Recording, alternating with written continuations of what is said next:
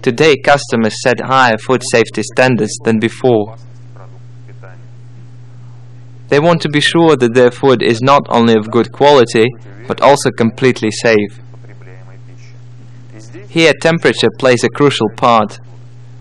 Various companies working in food industry need to take quick and exact measurements of temperature to monitor compliance with storage and shipment regulations.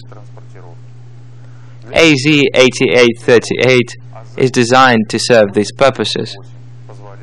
It can take internal and non-contact temperature measurements.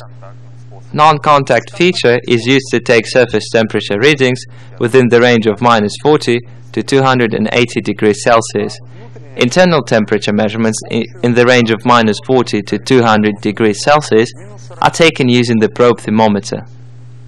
Measurement error in a non-contact mode is illuminated by a bright LED. Temperature readings are shown on a large backlit LCD display. The device also has HACCP check lines. Each checkpoint has a LED that starts blinking if the temperature measured crosses the operating threshold. The operating threshold temperatures are indicated over the LED lights.